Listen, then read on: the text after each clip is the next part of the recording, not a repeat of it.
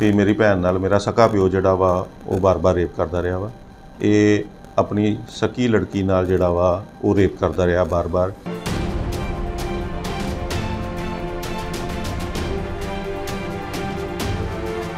ਇੱਥੇ ਲੜਕੀ ਨੇ ਉਹਨੂੰ ਦੱਸਿਆ ਆਪਣੇ ਬ੍ਰਦਰ ਨੂੰ ਵੀ ਇਹ ਫਾਦਰ ਮੇਰਾ ਮੈਨੂੰ ਕਰਦਾ ਵਾ ਜੇ ਮੈਂ ਕਹਿੰਨੀ ਆ ਤੇ ਮੇਰੇ ਮਗਰ ਦਾਤਰ ਲੈ ਕੇ ਚੜ ਜਾਂਦਾ ਵਾ ਔਰ ਕਹਿੰਦਾ ਤੇਰੀਆਂ ਮੈਂ ਲੱਤਾਂ ਵੱਢ ਦੇਣੀਆਂ ਵਾ ਤੈਨੂੰ ਜਾਨ ਤੋਂ ਮਾਰ ਦਿਆਂਗਾ।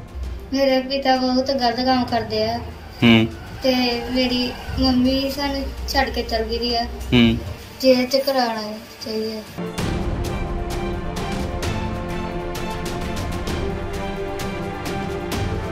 ਇਹਦੀ ਜਨਾਨੀ ਇਸ ਨੂੰ ਪਹਿਲੀ ਕਾਫੀ ਦੇਰ ਤੋਂ ਛੱਡ ਕੇ ਚਲੀ ਗਈ ਸੀ। ਇਸ ਕਰਕੇ ਸ਼ਰਾਬੀ ਜਿਹਾ ਅ, ਹੈਗਾ ਵਾ।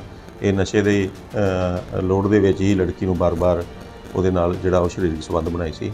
ਉਹ 7-8 ਮਹੀਨਿਆਂ ਤੋਂ ਉਹਦੇ ਨਾਲ ਸਰੀਰਕ ਸੰਬੰਧ ਬਣਾ ਰਿਹਾ ਸੀ।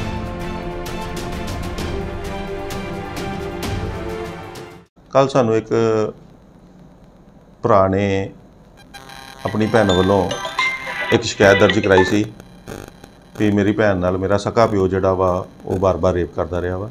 ਇਸ ਸੰਬੰਧੀ ਅਸੀਂ ਮੁਕੱਦਮਾ ਨੰਬਰ 161 376 ਆਈਪੀਸੀ 6 ਪਾਸਕੋ ਐਕਟ ਦਰਜ ਕੀਤਾ ਵਾ ਤੇ ਦੋਸ਼ੀ ਨੂੰ ਗ੍ਰਿਫਤਾਰ ਕਰ ਲਿਆ ਵਾ। ਇਹ ਆਪਣੀ ਸਕੀ ਲੜਕੀ ਨਾਲ ਜਿਹੜਾ ਵਾ ਉਹ ਰੇਪ ਕਰਦਾ ਰਿਹਾ ਬਾਰ-ਬਾਰ। ਇਹਦੀ ਜਨਾਨੀ ਇਸ ਨੂੰ ਪਹਿਲੀ ਕਾਫੀ ਦੇਰ ਤੋਂ ਛੱਡ ਕੇ ਚਲੀ ਗਈ ਸੀ। ਇਸ ਕਰਕੇ ਸ਼ਰਾਬੀ ਜਿਹਾ ਅ, ਹੈਗਾ ਵਾ।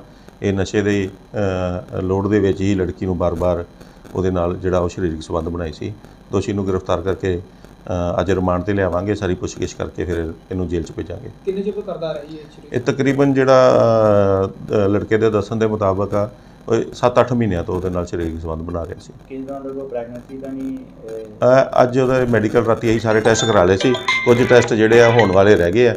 ਅੱਜ ਜਿਹੜੇ ਉਹ ਟੈਸਟ ਹੋਣਗੇ ਤੇ ਫਿਰ ਉਸ ਤੋਂ ਬਾਅਦ ਇਹ ਪਤਾ ਲੱਗੇਗਾ ਕਿ ਕੋਈ ਪ੍ਰੈਗਨੈਂਸੀ ਹੈਗੀ ਹੈ ਜਾਂ ਨਹੀਂ। ਕਿਸ ਤਰ੍ਹਾਂ ਲੜਕੀ ਦੇ ਜਿਹੜਾ ਬ੍ਰਦਰ ਆ ਉਸ ਨੂੰ ਕਿਸ ਤਰ੍ਹਾਂ ਪਤਾ ਲੱਗਾ ਕਿ ਇੱਥੇ ਲੜਕੀ ਨੇ ਉਹਨੂੰ ਦੱਸਿਆ ਆਪਣੇ ਬ੍ਰਦਰ ਨੂੰ ਵੀ ਇਹ ਫਾਦਰ ਮੇਰਾ ਮੈਨੂੰ ਕਰਦਾ ਵਾ ਜੇ ਮੈਂ ਕਹਿੰਨੀ ਆ ਤੇ ਮੇਰੇ ਮਗਰ ਦਾਤਰ ਲੈ ਕੇ ਚੜ ਜਾਂਦਾ ਵਾ।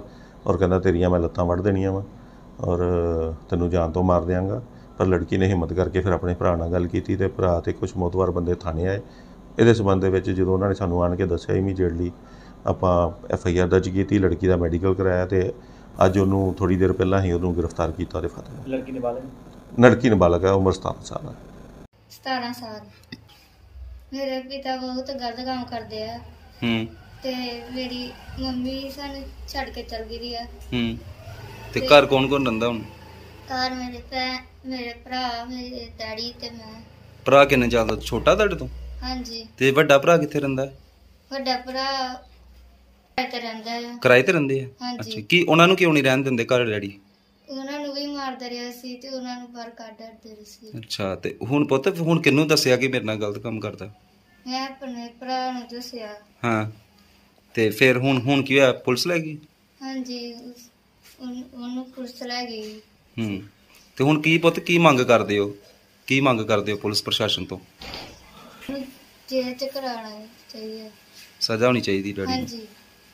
ਠੀਕ ਹੈ। ਤੇ ਕੀ ਅਹ, ਮਾਰਦਾ ਕੁੱਟਦਾ ਵੀ ਰਿਹਾ ਤੈਨੂੰ? ਹਾਂਜੀ ਮਾਰਦਾ ਕੁੱਟਦਾ ਰਿਹਾ ਸੀ ਅੱਛਾ। ਕਿੰਨੀ ਉਮਰ ਹੋਈ ਤੁਹਾਡੀ? 17 ਸਾਲ। 17 ਸਾਲ। ਤੇ ਪੜ੍ਹਦੇ ਨਹੀਂ ਹੋ ਤੁਸੀਂ? ਨਹੀਂ। ਅੱਛਾ।